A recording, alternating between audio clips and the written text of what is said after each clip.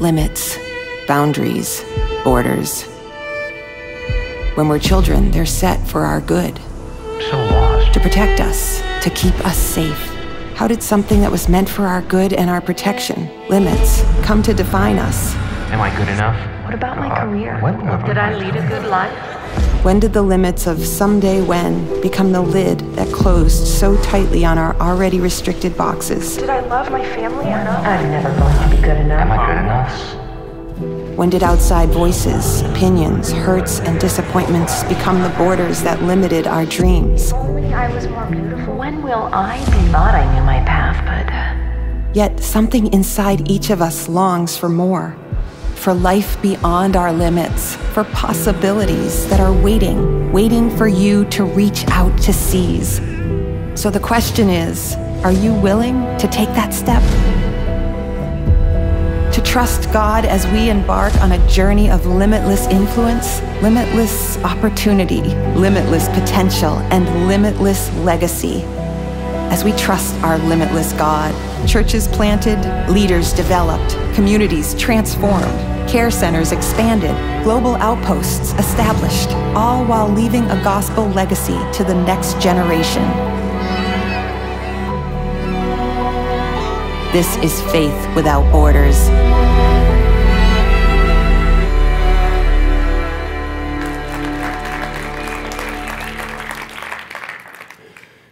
All right, how do you know if you go over to your friend's house and you see that dining room table is all set up really nice? I mean, they got the fine china out. And then you look at your table setting and you see this goblet, the wine glass, and how do you know if that thing's genuine Waterford crystal? Do you know? Just pick it up and you kind of wet your finger and you put it around the edge and you wait for that reverberating sound. If you hear it, it's the real thing. How do you know if, I don't know, your friend and he's got that watch and he's got that Rolex and he's putting it in your nose and he, you know, he's talking about how he's climbing the corporate ladder, he's making all this money and he's doing this and he keeps sticking it in your face. How do you know if that thing's real? Well, you just look at the second hand and if it's continuously moving around, this one isn't, and, and not ticking, then it, it's a genuine Rolex, man. All right, ladies, how do you know if that cheapskate boyfriend of yours, who when he gets engaged, he, he just gives you the ring, how do you know if it's a legitimate diamond or it's just cubic zirconium? Well, what you got to do, it takes a little work, but you got to take it out of the setting and you got to drop it in some water. If it floats to the top, that thing ain't real. You say, How do I know that? That's the first thing Jody did when I gave her the ring. Wedges it out, throws it in a glass of water. She's like, and then she said, Okay. In all seriousness, how do you know if that person that you love, that you care about, that friend, that family member, how do you know if they're a true follower of God? I mean, how do you know? Like, like what's the test? Like, like, like how can you know for sure? Or, or better yet, how do you know if you are? I mean, how, how, do you know and have extreme confidence that I know where I'm going to spend eternity and I know that God is in my life now? I, how exactly do you know? That's what I want to talk to you about. If you're joining us online, I'm so thankful that you're here. All those in the house, let's give a big amen. Praise the Lord, the goodness and grace. Open your Limitless Guides to page 18. Limitless Guides, page 18. If you're new with us, second week in our series, it's entitled Faith Without Borders. And what we're doing is we're walking through the book of Joshua, and we've given you this resource to help you. And we're identifying the characteristics of true saving faith. We're identifying the characteristics of a genuine, growing, enduring faith. That's what we're going for. For every single person, today the message is entitled Dynamic Faith. And we're going to take a look at a woman whose faith, I'm telling you, right before our very eyes, it became legitimate, it became real, it became dynamic. Some of us, our faith is dead. I hate to say it. And it needs to be dynamic. And you're going to see a woman that that's exactly what happens. And so I've been praying that that's what's going to happen here today is that our faith is just going to get jump started. And so that's where we're headed. I want to give you several, what I'm calling marks of true saving faith. But before we get there, you can see that this book gives you all kinds of information. It gives the notes, uh, a, place for you to write notes. You can see that on pages 20 and 21, a place for you to write notes, a place for you to write notes. Two pages today, lots coming.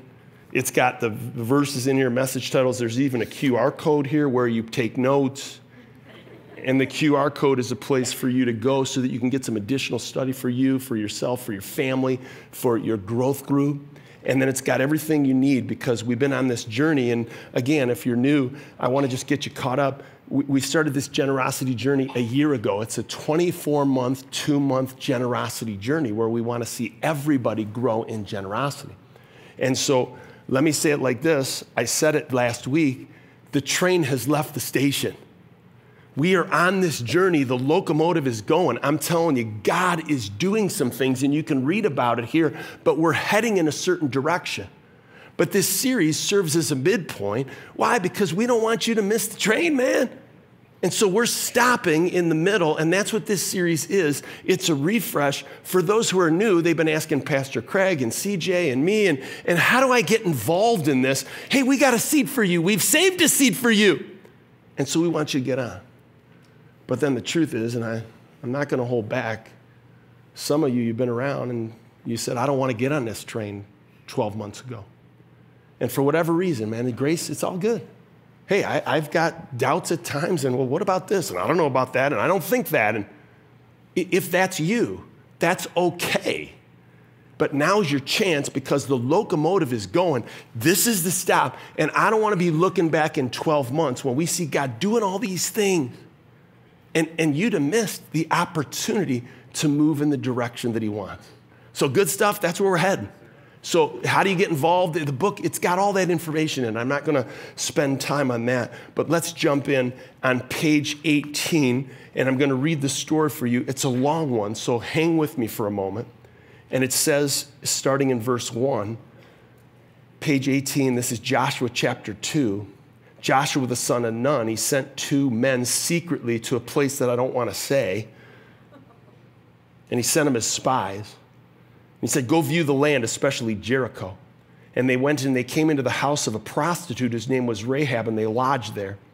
And it was told to the king of Jericho, Behold, men of Israel have come here tonight to search out the land.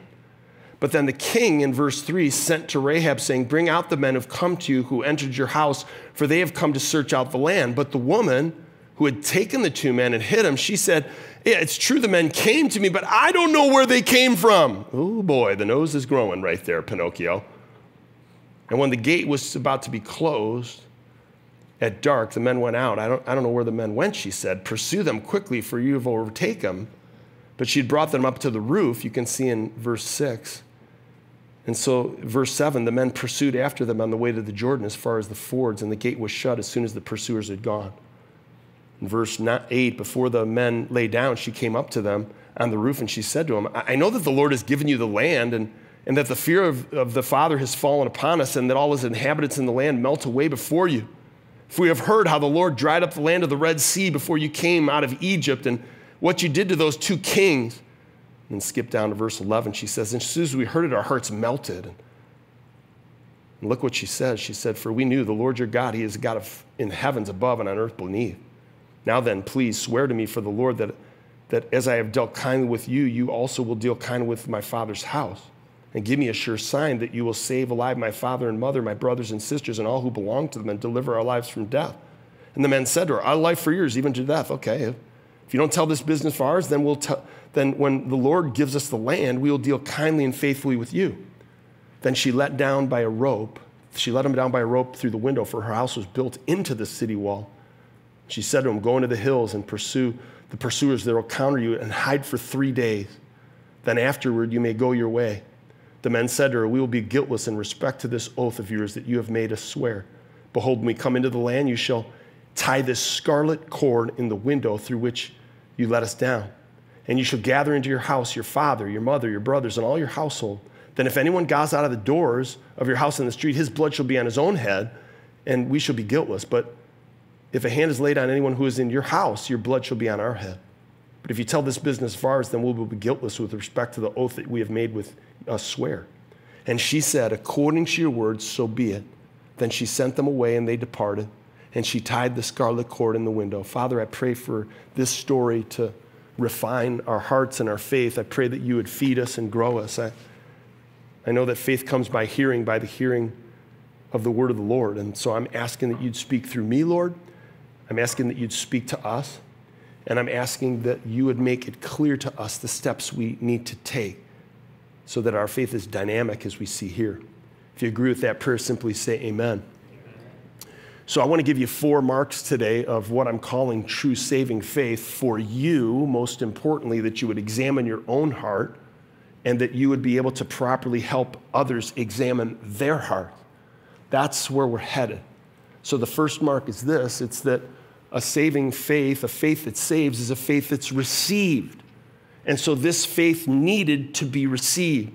If you look in your books or even look at the screen, the Joshua, he's the new leader. He's the one that is taking the people of God. Moses is gone. We talked about that last week. And he sent these two spies into the land.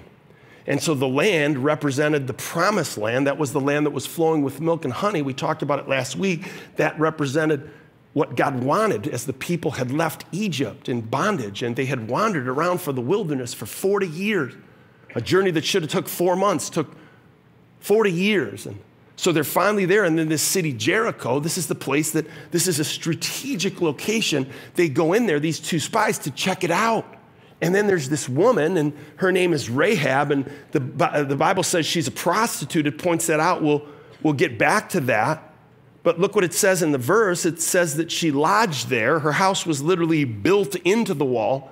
She was on the outskirts of the city, so to speak. And and so she's on the outskirts, she's kind of in the wall. Why? Because she was an outcast, hence prostitute. So we'll get into that later. And then, so what does she do? She gets the spies in, and then the king's men come in verse 4 and 5. If we look at verse 4 and 5, it says that, it says that she, she, she said to him, to the king's men, I don't know where these guys are. Man, I don't know where these guys went. And so here we have the lie, and so we're trying to discern if somebody's a follower of God or not. And we're looking at Rahab, and you're saying to yourself, well, is it okay to tell a little white lie? Looks like it is. Well, hold on for a moment. I mean, can you cut the girl a slack? I mean, she ain't even a Christian yet. And if so, maybe for five minutes. I know, I'm sure that you and I have done much worse. But look at the overall objective here. She's trying to protect the people of God. And, and it's interesting to me that, that she goes about it in this way. And, and then, so the question we want to answer, really the more important question is does, did Rahab receive the, the, the truth? And, and the answer, let's vote for a moment. Either you go thumbs up, you go thumbs down, maybe, I don't know. Thumbs down, I see nobody voting. Uh, I see some, some are not sure thank you very much. But I, I got to tell you, I, I, think it's thumbs up. And, and I'm going to not just say that, I want to prove that from the text. And so I think she got it. And so let's look at three verses that give us three proofs. The first is verse 9 saving faith is received when we know the truth about God. I mean, she knew the truth about the real Lord.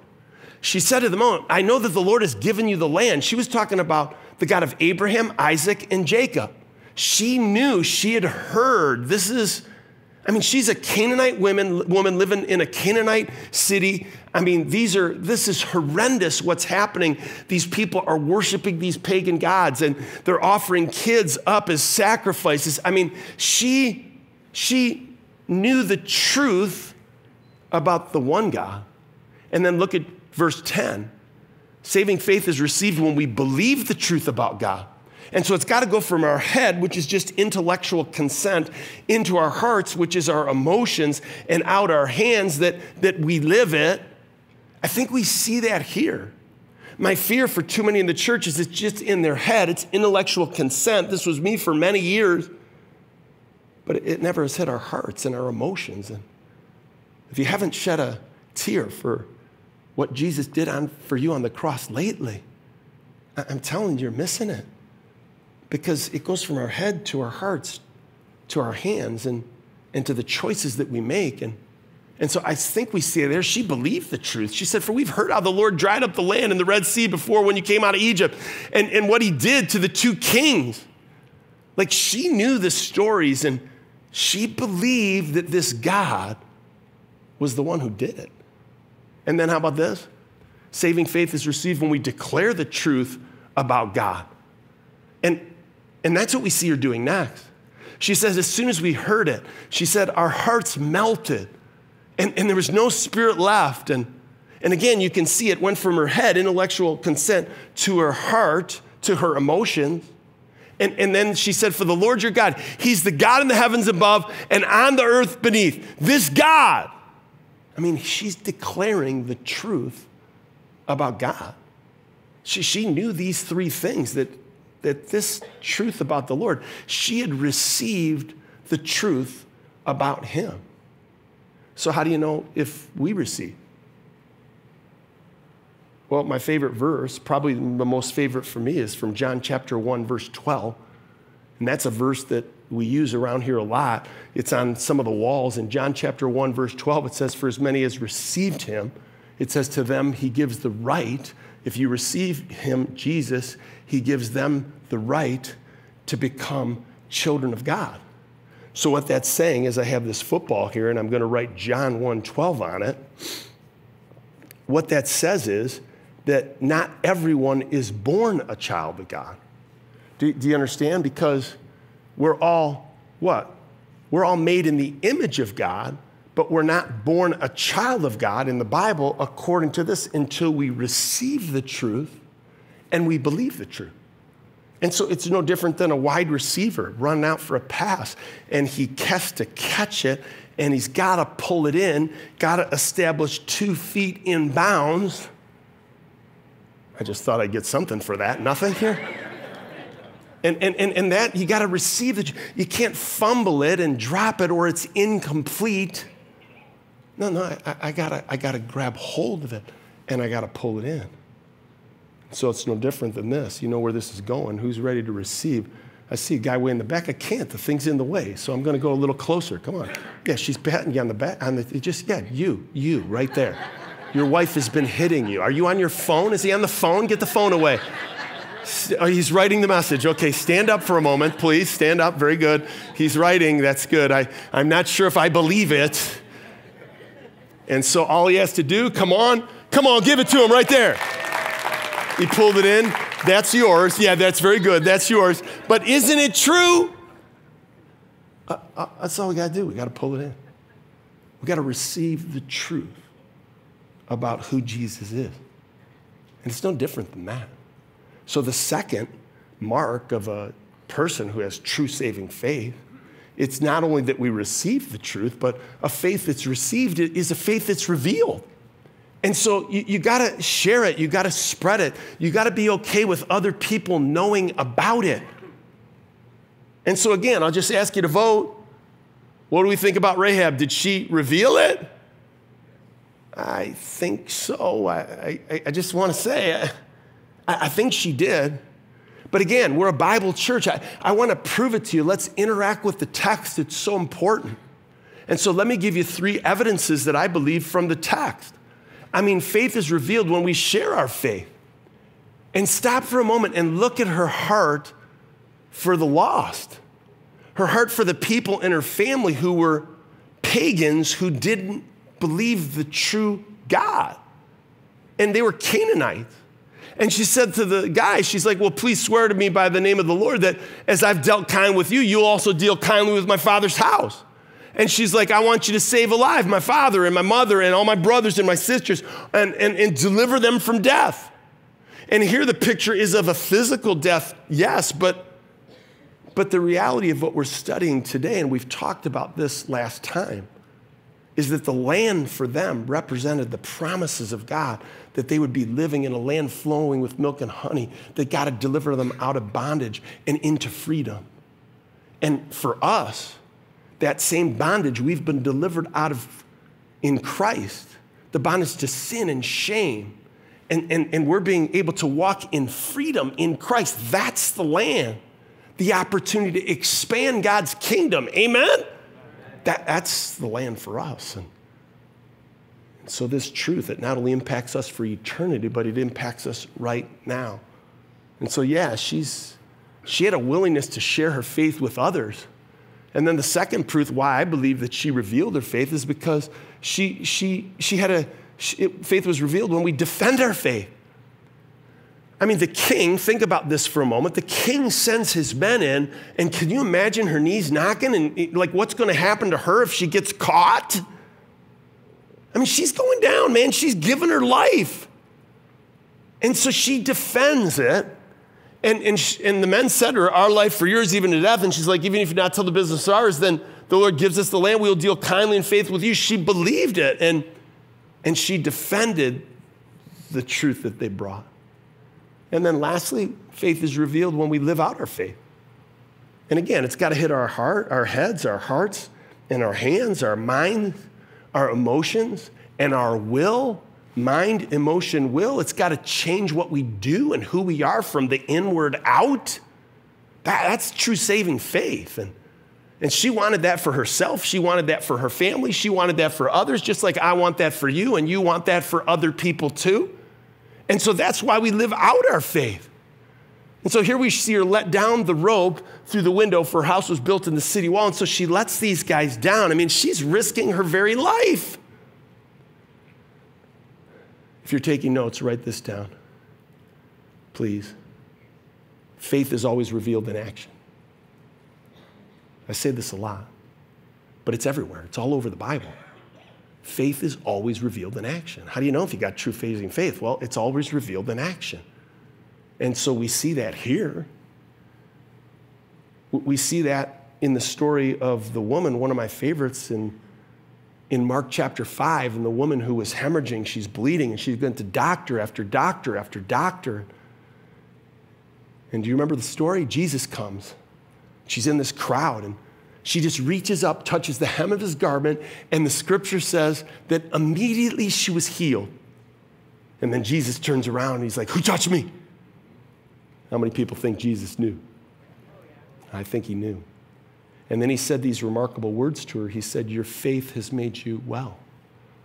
Again, it, faith is always revealed in action. I mean, always. So I remember the first um, couple times that I read this story. And um, I, I, actually, I literally did this, no kidding. I, I, took a red cord, similar to the one that I'm holding here, and I, I just tied it to my rearview mirror. And, and the first time I did it, it was because I read this story and I kind of had the same heart as she did for her family. And I thought, I was like, I was believing God that He would save my family. And so my mother and my father and my brothers and my sisters, and I, I like, we were the first Christians in our family. And, and so I tied this, how silly it sounds, to the window of my rearview mirror as a reminder. Is what I was believing God for. And, and it wasn't that I wasn't looking at it to, to say necessarily all about what God would do it was to remind me of what I must do too. That I needed to pray and that I needed to share and I needed to be bold with the gospel.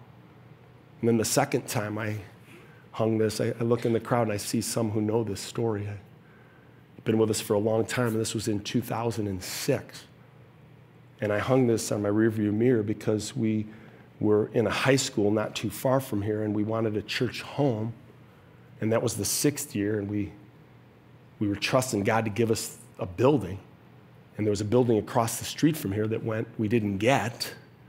And then this building, I was hung this because I was like, I'm trusting that God's going to give us this building, this 107,000 square feet of space that we could turn into a church. And that was back in 2006 and 2007, and that was just my reminder. And I challenged a lot of us to do it. And, and I'm standing here because God did it, didn't He? I mean, he gave us this building. Yeah, let's praise him. I say gave, it was going through foreclosure, and for a cheap $7 million, we were able to get in here. But it was a reminder that that what am I believing God for? And so I don't, I don't know what you're believing Him for. But we've got a bunch of little red cords like this, and so they're to my right and to my left. And at the end of the message, there's going to be a time where you can, we're a responsive church with a responsive culture. And so, so maybe you're believing God for something. And may this silly little thing be a reminder to you, like it's been to me, that God, God is good. And God provides. And God is faithful. And whether it's that I'm praying or that I'm trusting or, or that I'm responding, it's, it's reminding me that I need to do something. That what do you believe in God for? Maybe for you, it's like Rahab, and it's the faith of a family member or friend. Maybe it's really close and it's somebody in your own home. And maybe it's somebody who's walked away from the Lord, that maybe your own child that you want to see him back. That's the reminder that you pray that God draw them. And maybe you're like me and I'm trusting now I'm going to have this in my car for the next year. And, and I'm trusting that we talked about this last week that, that I want to see God expand the borders. And so if you don't have to turn there, but page four and five, it shows what territory, what we want to believe God for as, as we're able to expand the gospel. Because for us, the land represents opportunity for more people to believe, belong, become like Him. And, and so, what is it that you're believing Him for? Maybe it's for a restored relationship and things aren't going that well in your marriage or with your family or some extended family. And you're just trusting and you're believing that God's going to heal that relationship with my brother my sister. I, maybe it's freedom from a particular sin or, or from the past. I, I don't know what it is, but I, I'm believing God for some things in the next season, and I want to be a church that challenges us to do the same. Agreed? Let's move forward and trust Him so you'll have a chance to respond. We're trusting Him for what He wants and what He sees. So our faith, it's revealed when we live out our faith. Let's look at the next thing is that our faith is not only a faith that saves, is a faith that's received. A faith that's received is a faith that's revealed. And a faith that's revealed is a faith that is refined. And so that's what we see next is this refinement is that God's going to refine it and He's using the trial that you're in right now. Please let me remind you of that pain, that difficulty, that diagnosis. He's using it as an opportunity for you to draw close to Him and for Him to teach you. Maybe it's specifically about dependence on Him. That, that that's the reason we go through trials. And so, did Rahab go through some trials? Yeah, I think so. I don't think I'm pushing the text too far. I don't think I'm pushing the text too far that say that her faith was refined. And so imagine for a moment when she had this cord in the window and she tied it in her window and, and then her brother and her sister came back and her mother and her father came back and, and, and guess what? They're like, what, what's with the cord? And it says in the text that she waited three days. That before these guys came back. They hid for three days. So, day after day, she's like, Well, no, these guys came and these two men came, and, and God's going to take this land, and, and He promised me that He's going to save us, and everybody is, and we're, and yeah, right. Can you imagine him saying that? Her saying that to her brother and her sister? Yeah, we know what those couple guys were doing in here, Rahab the I mean, what must have they thought? And then after the first day and the second day and nothing and nothing and nothing. I don't know about you. You got siblings like that? I do. I mean, her faith was tested. And so our faith is always tested. And so whether it's a difficulty that comes that we need to endure and trust the Lord with, our faith is revealed in action. And and it's tested at times. And so I'm thankful for a church. I'm telling you, our church family, where our faith is not only received, but our faith is revealed. And our faith is being refined, and that's never been so clear this past month. Can we praise God for what happened here yesterday with our women? Come on. I know you've already talked about it, but let me add my thing. I mean, I was here watching, and the women responded with these cards and these bold faith cards that they want, and praying for God to do some things and to show up in a specific way, and trusting Him and believing Him. I mean, that's dynamic faith. And then, can I mention the men with no applause? Well, they don't deserve it yet. But it was only a couple weeks ago on this very same stage from all of our locations. We packed the house, and man, their faith was revealed. And never so much in their responses. This front was filled. And then even guys got baptized. We had all these people that got baptized. And, and so I want you to just hear the stories so you can be encouraged that we're doubling down on discipleship for families and, and for men, the head of households, and for fathers and and look what it looks like, man. Take a look at this. I, we haven't showed this yet, but it's so encouraging. Look at this from our men's conference a couple weeks ago. I lived for myself still, even after I was supposedly baptized. I, there was no change in my life, but I, I'm ready for that change. I've been feeling the Spirit pulling, and today I was like, I can't wait another day. I went sideways dealing with drugs and selling drugs, making a lot of money, but I wasn't happy. So then I determined when he was speaking, like I, I just had to be free. And, and right now it's like I'm in, at the brick wall. Now I need to be free, so that's why I'm here. Well, I've spent too many days high and not enough days sober. So many days that being sober felt like I was high. And uh, I need to break that path. I need to walk down the correct path before that that life consumes me. Because rather than worrying about what the world thinks about me, I want to spend my days focusing on what Christ has done for me.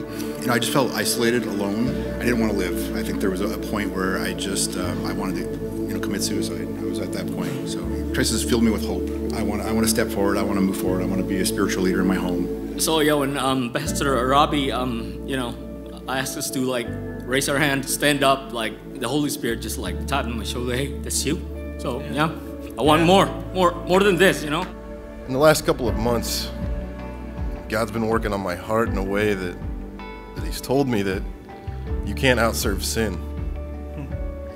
I've served God all over the world. I've baptized people in the Jordan River. I thought that was good enough. I haven't led my family. I owe a huge apology to my wife. I have a seven year old son named Barrett that I haven't led the right way that changes today. I know of Jesus, but I don't know Jesus. Yeah. And and I want to. I've made a commitment to know Him and have Him really be part of my life. I can't help other people and, and be the leader in my profession and, and to my wife if uh, if I don't let Him break, break my heart.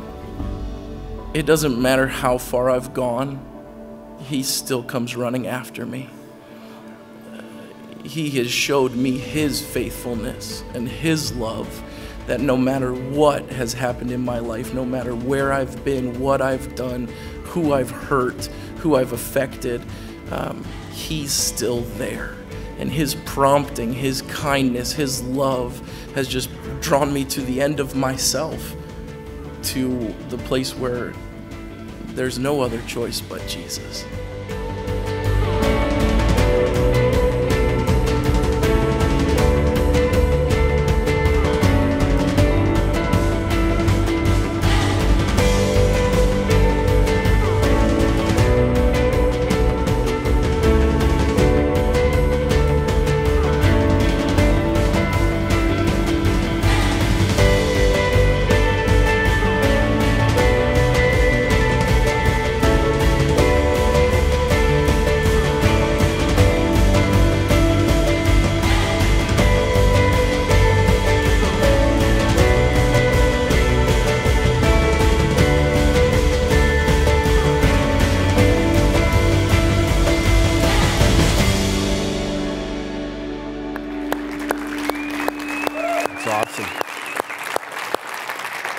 Fantastic. Lastly, a faith that's it's refined is a faith that's rewarded. And so we don't have these two verses in the text. I'm going to call the worship team up in a moment here as they come and we close the service. But this was rewarded. Look with me for a moment at verses 23 and 24 on the screen. So the two men come back and, and, and they say, they give the report to Joshua and they say, The Lord's given the land to us. They've given it in your hands. And so there's the blessing we see that, that what Rahab did and how she responded, God blessed it not only for her and for her home, but for her house and so, our faith and the steps of faith that we take and the boldness that we show, it can impact so many different people, can it? I mean, it, it can light a fire and get things going and get things moment. She went from dead faith to dynamic faith. And so, you may know this, I don't know, maybe you're a student of the Bible. This girl, Rahab, she's talked about very favorably in the New Testament. And so, three times her name is mentioned. And so, make note of these three times. It's awesome. Yep, this prostitute. Yep, this pagan. Yep. Three times, the first time in Matthew chapter 1. And she's literally listed as a distinguished member, as a royal member in the lineage of Christ, like the Messiah, Messiah Jesus and David, his kingship. And she is in that line. Remember that Rahab was looking forward to the cross and she didn't have all the information we do. She was trusting in the God of Abraham, Isaac, and Jacob, and she was trusting in the Redeemer, the Messiah, the Christ, the chosen one, the long anticipated deliverer of Israel. Again, we know more than she did, but she was looking forward. And now we're looking back. We're looking at the same God, the same God of Abraham and Isaac and Jacob that sent his son Jesus, the Messiah, the Christ, the anointed one, to, to pay a price for us on a cross. And so, for the forgiveness that we have and the land that we want to go after, it, it starts in your own heart. And so, I love that, man. She is in the lineage of Christ. Second reference, good stuff. James chapter 2, and this one is a little more complicated, so we've got to put our thinking caps on. But she's an honorary example of true saving faith. James, Jesus' half brother, he's talking about the unique relationship between faith and works, how you can't have one without the other. And the reformers said, a faith alone saves, but a faith uh, that saves is never alone. And I always say it like this faith, if it hasn't changed you, then it hasn't saved you. And so there's a unique relationship, and she's mentioned as an example in James chapter 2. And then last, we, we see her in Hebrews. I mean, this prostitute? This girl that was running tricks on a city wall? I mean, I mean, you kidding me? After all she did, she is on, she's in the wall of faith. But like she gets in there? But like, why? I just want to cut it straight. Your past is never an obstacle to God. Your past is never an obstacle to God. How do I know that? Because her past was never an obstacle to God. Because David's past was never an obstacle to God. Ours isn't either. Listen, man, it may be an obstacle to you. Your, your past, it may haunt you and be an obstacle to you about what you've done. It may be an obstacle to some people you love and to some friends around you. I'd even go as far as saying it may be an obstacle to a pastor that you know, but it is never, I repeat, never an obstacle to God.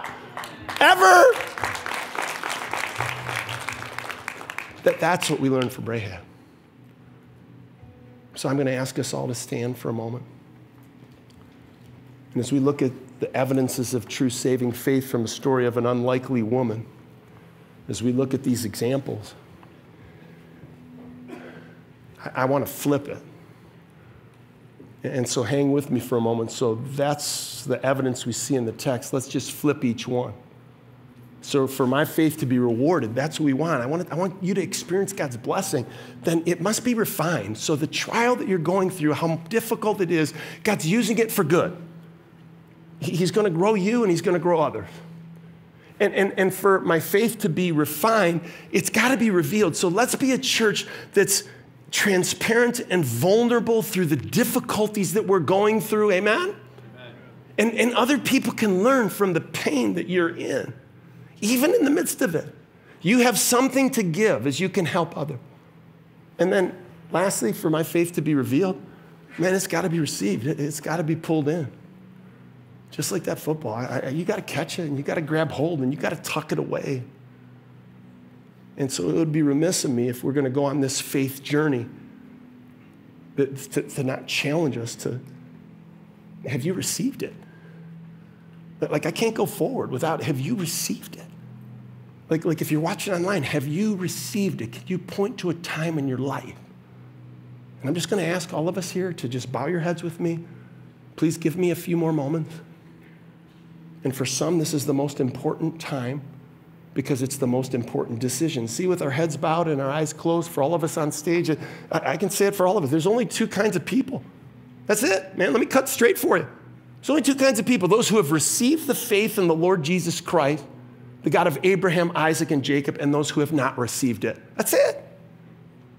I mean, can you appreciate that candidness? That, that's it. Whoever you lock eyes on, you've either received it or you haven't.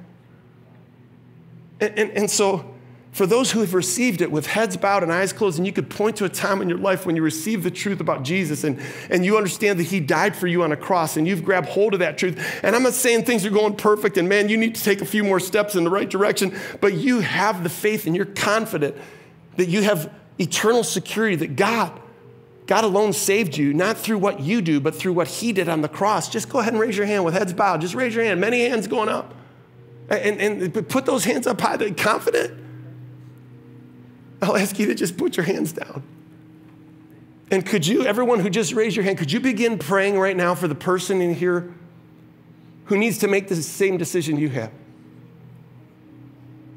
I just get back from Wheaton at the Protestant Vatican. That was a joke. It's okay to laugh with heads bowed. and, and, and we saw people's hands go up to, to embrace Christ today. And this is happening at all of our locations.